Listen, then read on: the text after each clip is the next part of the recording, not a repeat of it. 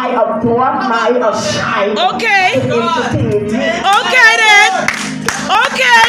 There will be some manipulators. There will be some people that will come in your life that they only come to make you abort your assignment. Yeah, no. And that's why your world is still at a single leg. That's why your world has not gone up yet. Yes. Glory. Hallelujah. We still at the same level because we want the manipulators. That's. We want the people. We want the folks that the want. Jesus.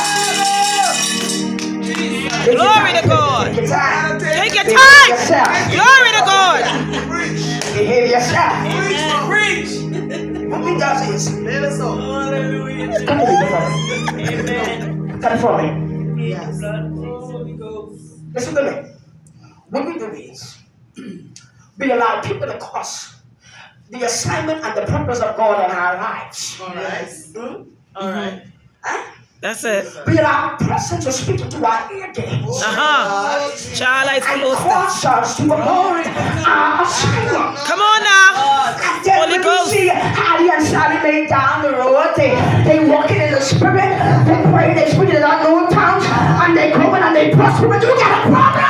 Come on now. Preach this thing. Where were you when they were